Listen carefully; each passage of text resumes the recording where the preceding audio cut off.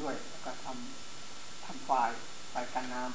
ำเวลามาวันนี้ก็คือว่าพวกเราโดยพอบใจกันมามาทำฝ่ายฝ่ายนี้มีความสำคัญอยู่ว่า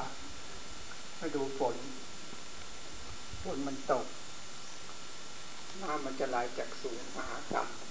ำแต่การไหลของน้ำเนี่ย ถ้าเราไม่ยับยัง้งมันก็จะไหลทำให้ปลาเนี่ยดินทลาย พังลงมา แต่เราทำฝายกันน้ำเขาไปเคลื่อนไว้เนี่ยถ้ารอความเร็วของน้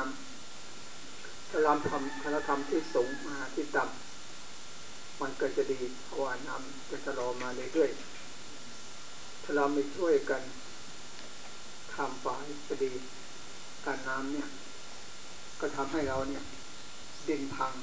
เรามลงมา ถ้าเรา ทุกคนจะช่วยกัน จะทำฝายก็ดีจะกันฝ่าไฟกันไฟก็ดีทำไป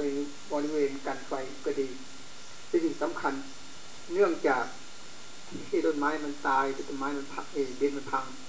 เนื่องจากไฟเนี่ยมันไหม้ป่ามาก่อนทำให้ไม้เล็กไม้น้อยที่มีอยู่ก็ตายไป พอลงลงปีใหม่ฝนตกลงมาต้นไม้ที่น้อยก็แตกขึ้นอีก ลงเปีมันไหม้ขึ้นอีกนั่นเราต้องกันไฟสาเหตุต้องกันไฟก่อน กันแนวกันไฟก่อนให้ดี